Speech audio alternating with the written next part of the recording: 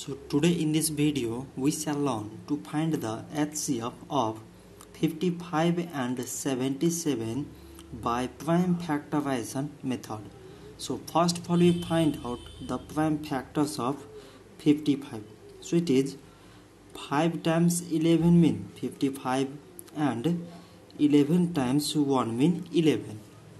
Like as the prime factors of 77 are it is 7 times 11 mean 77 and 11 times 1 mean 11 so now from these prime factors we can write 55 is equal to 5 times 11 and 77 is equal to 7 times 11 so now we select the common factors in these prime factor and common here is 11 so its HCF is equal to 11.